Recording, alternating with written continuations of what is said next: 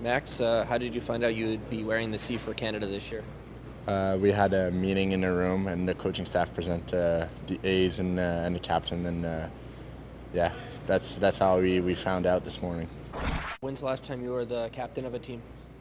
Uh, I don't remember.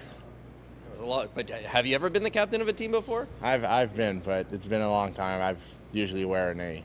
I've known him now for two years. He's a good uh, good man. He's a he's a leader in the locker room. He's a leader off the ice. He's led all the way through this on all the little details that we're trying to get uh, to the players, uh, points across, the mindset, and uh, he's played like a leader on the ice. So, uh, really felt comfortable with Max. Uh, I know him well, have good relationship with him. It means everything. Uh, it's a huge honor. I think we have 11 captains on our team in, the, in their club team, so it's it's a huge honor to, to represent them.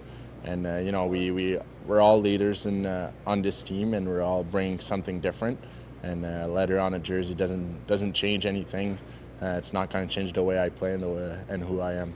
It's a huge honor. It's it's. Uh, I don't have really words for it, but uh, you know, just to represent uh, my teammates and, and, the coaching staff, and uh, you know that they believe in uh, in me that I can assume this role and I can be a leader on this team. It's it's a huge honor for me.